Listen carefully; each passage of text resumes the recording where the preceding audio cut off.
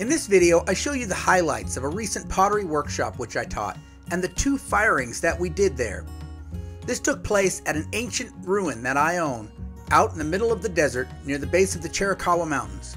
So come along with me this week as I make pottery, fire it, and explore the ancient ruins.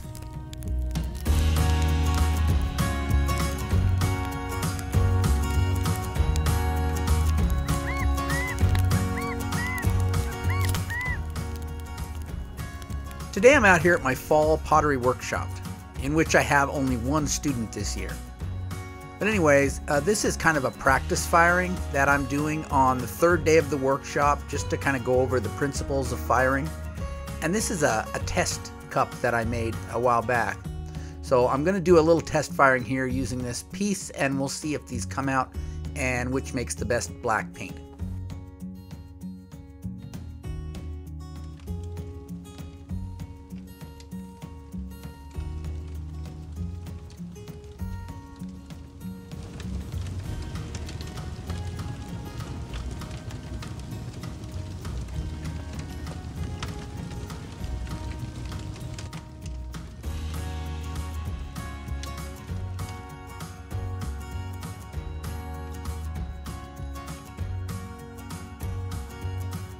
So here's how my tumbler came out.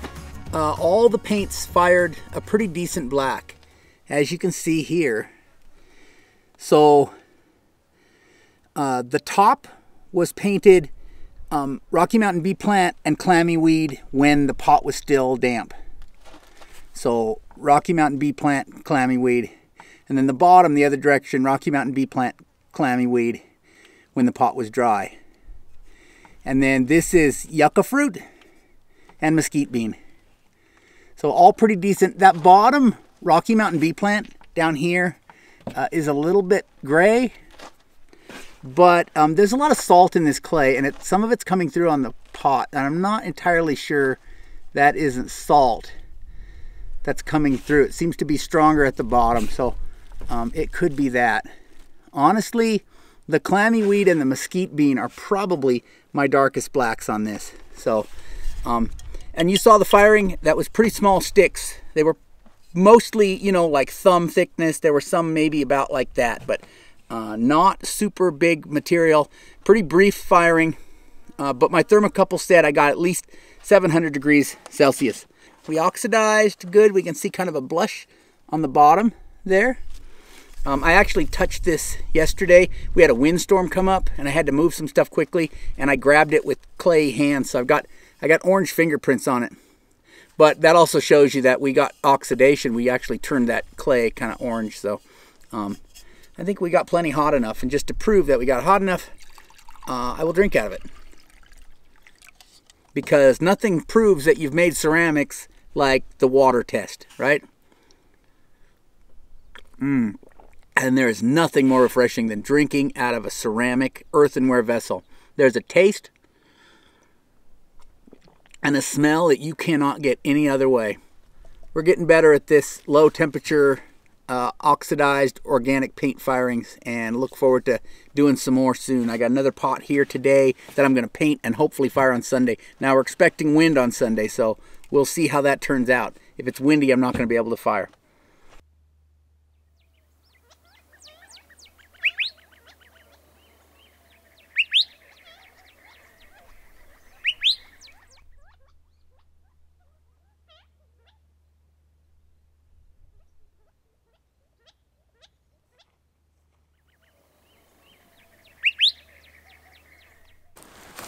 So I'm out here at my ruin. Uh, there's a bunch of these uh, stone circles like this. If you see this uh, foundation I'm sitting by, it's maybe a circle, six feet circle across. Um, and, you know, really don't know what they were for. Down in Chihuahua, they find granaries. So it could be a granary like that, uh, but really don't know. Nobody's ever excavated out here. But there's at least four of these circles similar to this here on this site. I'll show you some other things. There's some um, pottery sherds you can find and a lot of like wall alignments, you know, foundation stones where there were houses out here. But this, these are kind of a mystery, these circles that we have out here. Now I'm out here on one of the highest mounds at this ruin. Now these mounds weren't built to be mounds. These are actually old adobe houses, Pueblo homes, that have just, the adobes have melted and left a big mound of earth. So there's a number of these out here. And this is one of the higher ones. So sometimes when the, when the house was in an area where it eroded and it was low, you'll see the foundation stones. And other times where it didn't erode so much like on this one, we just have a lot of that earth that was the adobe walls in place, then you can't find the foundation stones. But you can still tell where the houses were based on uh, the shape of this ground. And these mounds would be kind of long because they were room blocks that sometimes would go, you know, four, five, six rooms long. So that's a lot of what we see out here, just these artificial kind of mounds. Like this would have been relatively flat ground before the Native Americans built these homes out here. And then over the course of 600 years, the adobes just melted down to just mounds of earth. We find a lot of uh, artifacts in here too, and there's a lot of rodent activity. So rodents dig down in the ground, they bring up artifacts, uh, bits of pottery sherd and uh, shell, all kinds of things. And then other things, larger animals like coyotes or foxes or badgers will dig down in those rodent burrows and bring back more stuff. So just walking around looking at the recent animal activity is a good way to find uh, artifacts that have been brought up recently. So sometimes you come out here and you find these little bits of sherd, you turn them over, just like that one. They're decorated. That's a lot of polychrome right there. So there's a lot of a lot of polychrome found out here, but studies have shown that most of this was actually being imported from the Gila River, long ways away. Here's a little pile. The rodents brought this up a while back, and I kind of stuck these sherds up under this bush to keep them from getting stepped on by the cows. I'm in the process of fencing the cows out. That's going to be a big job. And that'll help protect the site from getting demolished.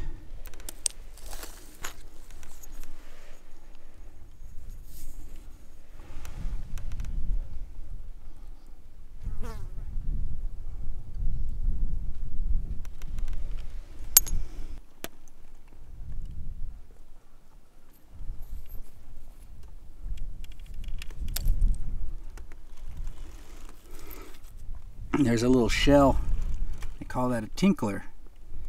And that is um, attached to a garment so you'd run a piece of string through it and tie it off. You'd have a whole bunch of those maybe at the bottom kind of tinkling like bells. So this is a great example of seeing some of the rock alignments that are foundations to these adobe rooms. I think somebody must have come out here and dug this room because there's kind of a depression here. There wouldn't be a depression where these rooms are because as those adobe walls came down, it would, like I talked about, create a mound.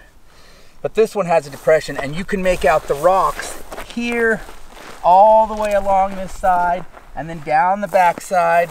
And then there's another corner here and you can see the rocks going down up into this bush here. So it's a good place where you can kind of see the size of a room and get an idea for uh, kind of how they were built. So these rocks would be set into mud. They'd dig a trench, they'd set these rocks into mud, and then they would lay up adobe walls on top of that. So these would be the foundation. So usually where you see these stones, the floor is nearby. It's either just below or just above or right at in that area.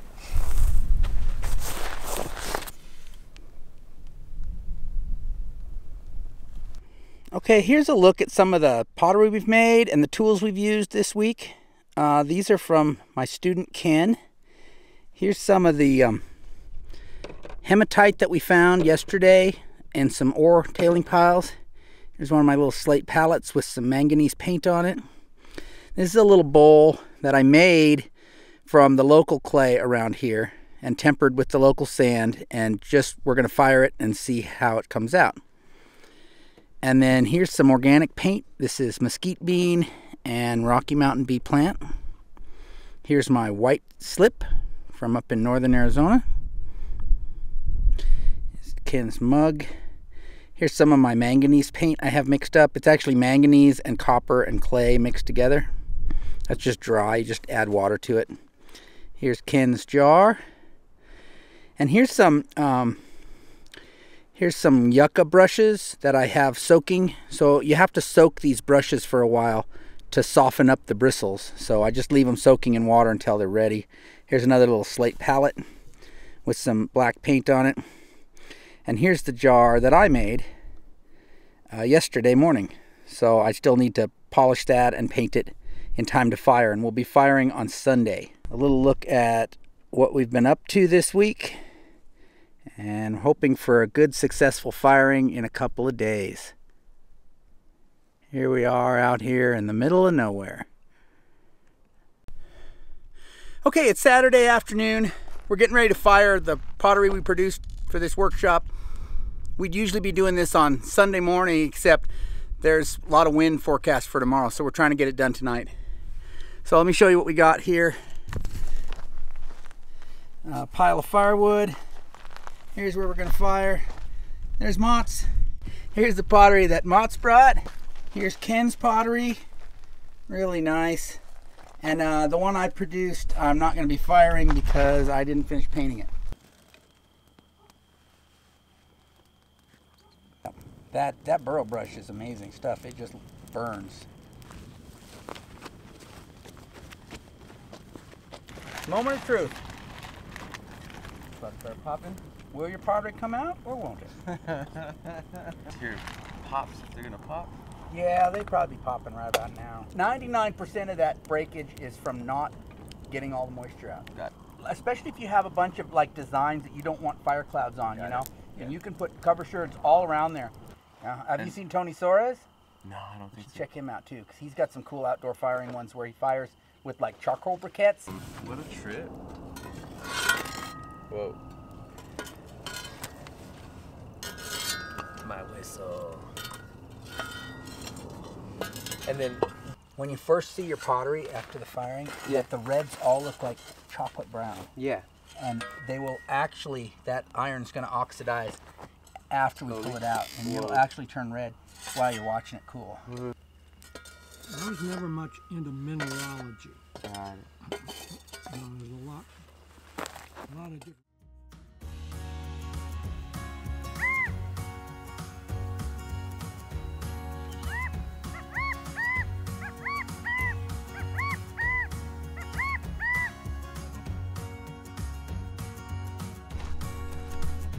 So the pottery workshop is all wrapped up. We finished firing all the pots last night. Everything came out good. I don't think we had a single thing break in that firing. It just got too dark to video so i couldn't really show you taking the pots out of the fire. It wouldn't have looked like anything. So uh, my student got up early and left so i can't show you the pots now either. But uh, it was successful.